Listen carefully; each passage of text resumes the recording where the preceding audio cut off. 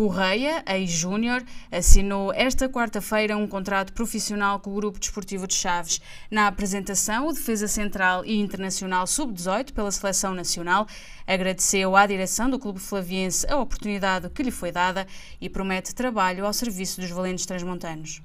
Em primeiro lugar, eu queria agradecer a Deus pela oportunidade e também agradecer o Grupo Desportivo Chaves e a equipa técnica pela confiança e espero retribuir isso com toda a minha força, em todo com aquilo que eu puder, porque eu acho que foi bom estar aqui e eu acho que vai ser.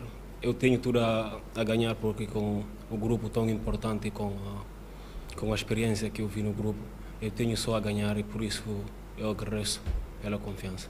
Correia já foi utilizado por Norton de Matos no jogo de preparação em Braga e é mais um reforço para o plantel do Grupo Desportivo de Chaves.